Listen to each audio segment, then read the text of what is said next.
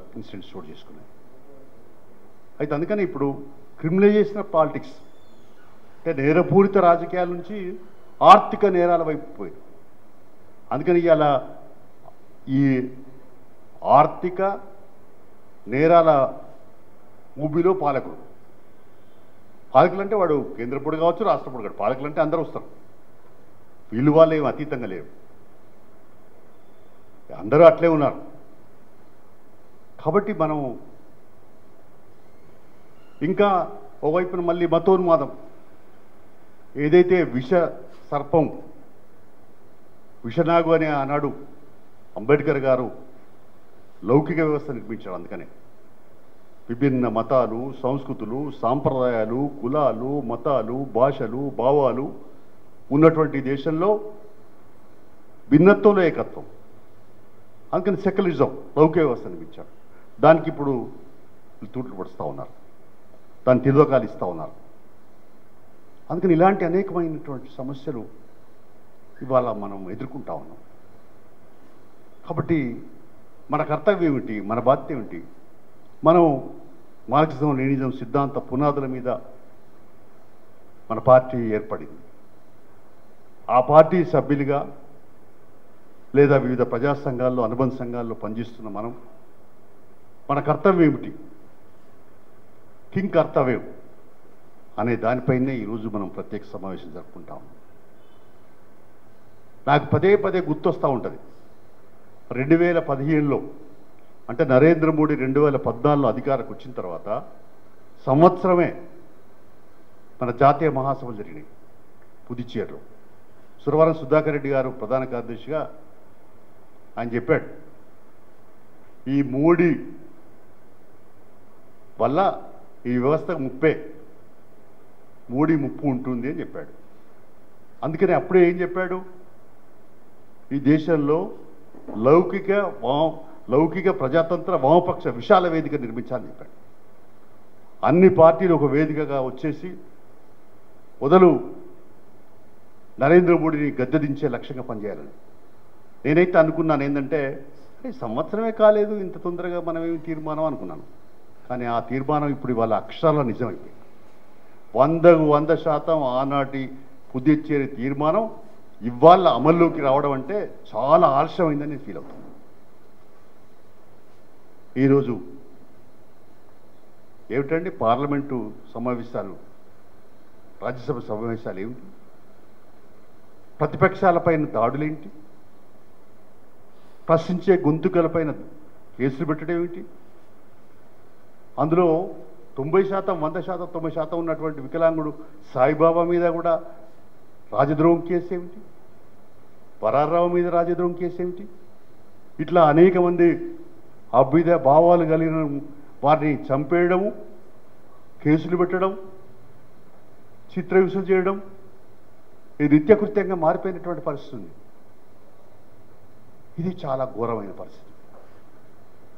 ప్రజాస్వామ్యం యొక్క భవిష్యత్తు ఏమిటి? ప్రమా నేను ఒక నాలుగైదేళ్ళ కింద ప్రమాదం టంచుల్లో ప్రజాస్వామ్యం వేసాను రాశాను ఆంధ్రజ్యోతి వచ్చింది బ్రహ్మాండంగా. కానీ ప్రమాదంలో ప్రజాస్వామ్యాల ప్రమాదంలో పడిపోయింది ప్రజాస్వామ్యం ఉంటుందా రేపు అనేది ప్రశ్న వచ్చింది. ఏం ఏం చేయదలుచుకున్నారు వీళ్ళు? రేపు ఏం చేయదలుచుకున్నారు వీళ్ళు? వీళ్ళు ఒకటే చేయదలుచుకున్నారు. ఏదంటే అధ్యక్ష తర పరిపాలన పోతారు రేపు. ఇంకా ఓట్లు నీకు ఉండే పరిస్థితి ఉండదు ఇక. ఇప్పుడు ఇలా పద్దెనిమిది సంవత్సరాలకు అందరికీ ఓటు హక్కు ఉన్నది. ఈ ఓటు హక్కు అందరికి ఉంటుందని అనుకుంటే అంతకంటే బుద్ధి హక్కుతారు ఇంకుంటే ఉండదు. ఇప్పటికే చూసాను చూడండి. ప్రతిపక్షాలపైన ఈడీ దాడులు ఐటీ దాడులు సిబిఐ కేసులు ఉచ్చబిడ్డలు పుట్టిస్తున్నాయి. ఇప్పుడు బయట ప్రతిపక్షాలు ఉంటే ఈడి దాడులు ఐడి దాడులు. బీజేపీలు చేస్తే పవిత్రుడు. ఇక్కడ ఉంటే అపవిత్రుడు ఆడు ఆడు చేస్తే పవిత్రుడు. నా ఎగ్జాంపుల్ నాకు నిజంగా నన్ను బాగా లైక్ చేసినాడు నేను నేను విమర్శించకూడదు కానీ సుజనా చౌదరి సీఎం రమేష్ ఇద్దరు ఆంధ్రోళ్ళే. కానీ ఎప్పుడు కనపడ్డా సుజనా చౌదరి సుజనా చౌదరి ఏమంటే మీకు బలహీన పడ్డరు సిపిఎస్సిపి ఇప్పుడైనా ఒక్కటే మీరు మంచి ఎంత మీరు బలపడితే దేశానికి అంత ప్రయోజనం. వ్యవస్థను నాశనం అయిపోతుంది. అసలు ముక్కుకు మూగుదాడేస్తూ మరి ఎగిరే ఎందుకు? మనం ఎందుకు గతంలో ముక్కు మూగుదాడేసేది? ఆపడానికి. అట్ట మీరు పనిచేస్తారని చెప్పాను కానీ మనం ఒకటి అయితలేం చీలిపోయినాం చిక్కిపోయినాం ఇలాంటి దుస్థితి వచ్చింది. అందుకని కామెంట్స్ ఇవాళ మనం ఆలోచించాల్సిందంటే మనం చర్చించాల్సింది. మనం ఏం చే ఏం ఏం చేయాలి? ఇప్పుడు పదకొండు తొమ్మిది రాష్ట్రాల ప్రభుత్వాలు పడిపోయాయి తొమ్మిది రాష్ట్రాల ప్రభుత్వాలు పడగొట్టారు. ప్రతిపక్ష ప్రభుత్వాలు. చూశారు కదా ఇప్పుడు? ఇప్పుడు నీరవ్ మోడీ లలిత మోడీ నరేంద్ర మోడీ నరేంద్ర మోడీ అన్ని ధర ధరలు అడ్డుగోలుగా పెంచి పెనుభారం మోపాడు కదా? పెట్రోల్ డీజిల్ సిలిండరు నిత్యావసరాలు సబ్బులు ఉప్పులు అన్నీ పెరిగిపోయినాయి కదా? ఏ వ్యవస్థను వదిలిపెట్టిండు ఆయన? ఆర్ఎస్ఎస్ ఆగుతలేదు. దాని ప్ర- అనే అనుబంధ సంఘాలు సంఘ పరివారం ఆడాలు విరిగిపోతున్నాయి. ఇలాంటి దుస్థితిలో మనమేమి మన కర్తవ్యం ఏమిటి అనేది మనం ఆలోచించుకోవాల్సిన అవసరం దాపరించింది వాళ్ళ అందుకనే ఈ దేశం ఎటువైపు మనం ఏం చేయాలి అనే దాని మీదనే మనం చర్చించుకోవాలి. ఈ మధ్య రాహుల్ గాంధీ. సరే జనరల్గా ఇప్పుడు మనమైతే నే- ఏవగించుకునే పరిస్థితే బూత్ తిట్లే బూతులే. రాజకీయాలలో విమర్శ అవసరమే. కానీ విమర్శ అద్దులు మీరుతున్నది. నాగరికతను అనాగరిక భాషలో బూతులు తిట్టుకునే దుస్థితికి పోతున్నది. జరుగుతుంది. ఇప్పుడు నరే పాపం మన్మోహన్ సింగ్ మౌనముని అనలేదా? ఇదే నరేంద్ర మోడీ. అది తప్పు కదా మరి? మౌనముని ఆయన? ఆయన ఆయన పద్ధతుల్లో ఆయన పరిపాలన చేశాడు. ఈయన పద్ధతుల్లో ఈ పరిపాలన చేస్తున్నాడు. మరి రాహుల్ గాంధీ ఏంటి? లలిత మోడీ నీరవ్ మోడీ పంజాబ్ నేషనల్ బ్యాంకులో ఏడు వేల ఐదు కోట్లు ఆడ ఎగ్గొట్టిపోయాడు. నీరవ్ మోడీ లలిత మోడీ అని మోడీలంతా కూటకం ఏదో పదం వాడినాడు. దాని మీద అగమే గారి మీద కేసు పెట్టి అది కూడా సూరత్ హైకోర్టులో పంపించి ఆ నుంచి వెళ్ళి ఇప్పుడు ఆయన మీద మొత్తం ఆయనకి రెండు సంవత్సరాలు శిక్ష పడ్డది కాబట్టి శిక్ష పడితే కొంచెం ఆలోచించే దానికి లేదు అనర్హత పెట్టి ఇమ్మీట్ ఎంపీని తీసేసినారు ఆయన. అంటే తలకాయ కోసేసినారు. అంటే ఎటువైపు పోతుంది దేశం? అందుకని ఇవాళ ప్రజాస్వామ్యం సరే రాహుల్ గాంధీ మంచోడు మనం చెప్పట్లేదు.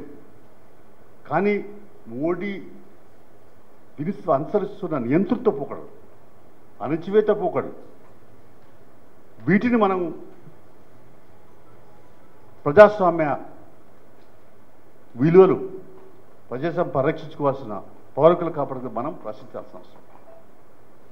ఇలాంటి సమస్యలు చాలా కుక్కలుగా ఉన్నాయి. మీకు ఇప్పుడు ఈ కరపత్రాన్ని కూడా మీకు అందజేస్తాం అందుకనే సరే మనం జనరల్గా పాటలు చాలా రాయించినాం రాస్తున్నాం. కానీ ఇప్పుడు ఒక కొత్తదనం ఉండాలి ఒక ఊపు ఉండాలి ఒక ఉత్తేజం ఉండాలి ఒక స్పందన ఉండాలి ఒక కదలిక ఉండాలి. మన మన ఒక వర్డ్ ఒక పదం వాడుతున్నామంటే ఒక అక్షర యుద్ధం. అక్షరాలతోటనే యుద్ధం. అంటే ప్రజలు చైతన్యపరిచేటువంటి దానికి.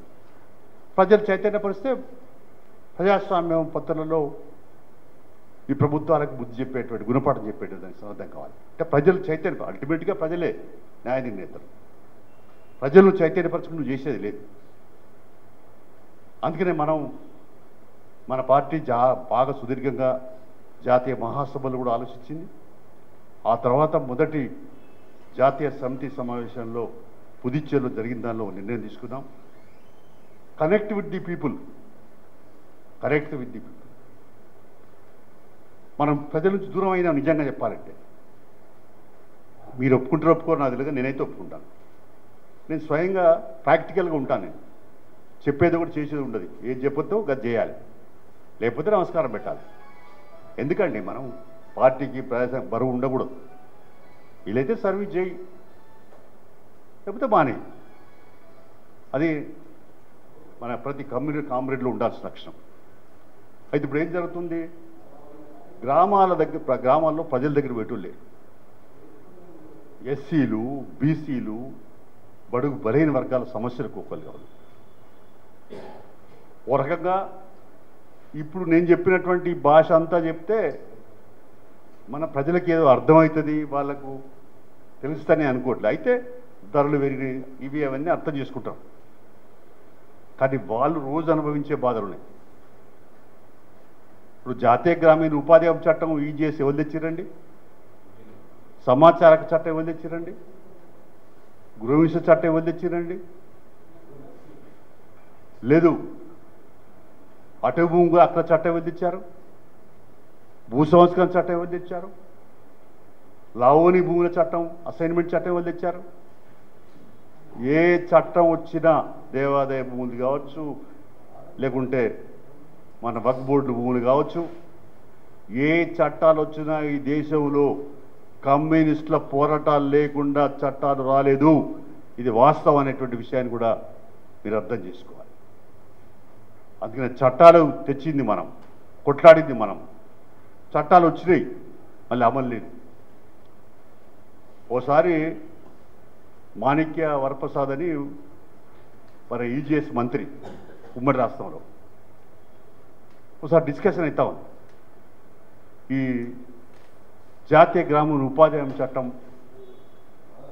చట్టాలు తెచ్చుడు మా వంతే ఇవాళ అక్కడ పారదర్శకత లోపిస్తున్నది చట్టంలో ఉన్నటువంటి హక్కులు అందట్లేదు. కూలి అందట్లేదు వాళ్ళకు. మీకు చేయాలంటే చట్టం తెచ్చినోడు మీరే మీరు చట్టం అమలు కూడా మీరే పోరాటం చేయాలన్నాడు. మీరేం చేస్తారా? అధికారులు ఉండరే మీ పైన. చట్టాలు తెచ్చే పోరాటాలు మేమే. చట్టాల అమలు కూడా మేమే పోరాటం చేయాలా? కాబట్టి ఇవన్నీ సమస్యలు చాలా. అందుకని మనం ఏం చేసాం ఏప్రిల్ పద్నాలుగు అంటే డాక్టర్ బిఆర్ అంబేద్కర్ జయంతి రోజు రాజ్యాంగ నిర్మాత అక్కడ ప్రతిజ్ఞ తీసుకొని మనం ఏదైతుందో అక్కడి నుంచి వెళ్ళి సభ పెట్టుకొని పాదయాత్రలు చేయాలి. యాత్రలు చేయాలని అనుకున్నాం. సరే యాత్రలు ఎండలు బాగున్నాయి. ఎవరు నడిచే పొజిషన్ ఎండలో కష్టమే.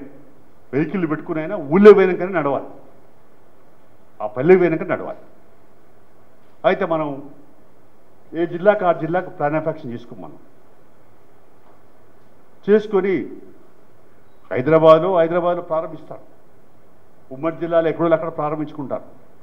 మొత్తం ముప్పై మూడు జిల్లాలో మన ఈ యాత్ర పల్లె పల్లెకు సిపిఐ ఇంటింటికి సిపిఐ ప్రజల వద్దకు సిపిఐ నినాదం పోతుంది. అయితే మనకు నూట పంతొమ్మిది నియోజకవర్గాలలో అంతటా మనం ఉన్నామా? ఉన్నాం. నామమాత్రంగానే ఉన్నాం. అయితే ప్రధానంగా ఒక నలభై యాభై నియోజకవర్గాల్లో మనకు ఎక్కువ గ్రామాలు మండలాల్లో ఉన్నాయి. అందుకని ఏదేమైనా అక్కడ ప్లాన్ ఆఫ్ యాక్షన్ చేసుకుంటారు వాళ్ళు.